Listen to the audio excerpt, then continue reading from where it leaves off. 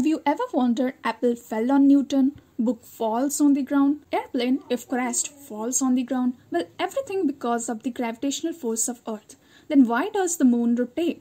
Why do the satellites rotate? Is there any other force involved in it? Well, actually, moon falls onto the earth and there is no other force involved in rotating it other than gravity.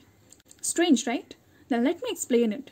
The moon is pulled by the gravitational force towards the earth which we will here show as the vertically downward direction. This gravitational force on the moon makes it move at a certain speed in the same direction. Now the moon has certain speed in the horizontal direction.